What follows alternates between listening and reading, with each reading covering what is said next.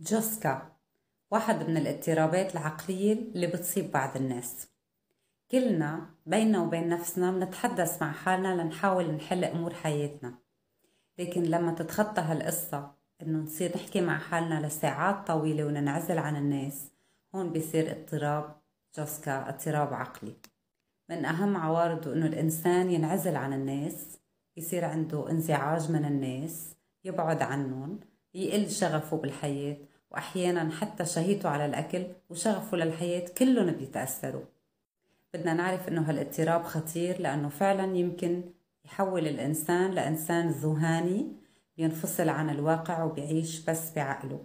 وهول الأشخاص بحاجة لعلاج بحاجة للمشي للطبيعة لأنه يتعرفوا لأشخاص جديد هن بحاجة كمان لثقتنا ولدعمنا. إذا بتعرفوا هيك شخص دعمه